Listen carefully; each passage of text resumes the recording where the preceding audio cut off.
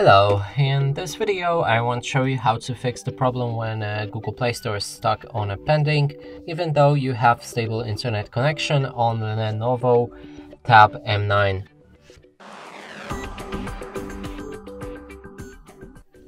And to do this, let's open our Google Play Store and here try to download something.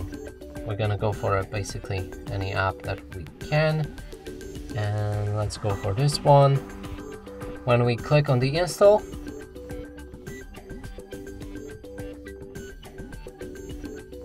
it changes into the pending mode and it's stuck like this forever. Let's cancel it for now and move on to the fix. We need to open our system settings.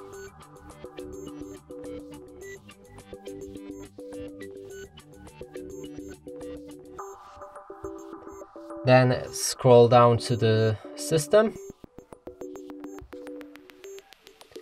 Select it, go for date and time and here set time automatically using network provided time.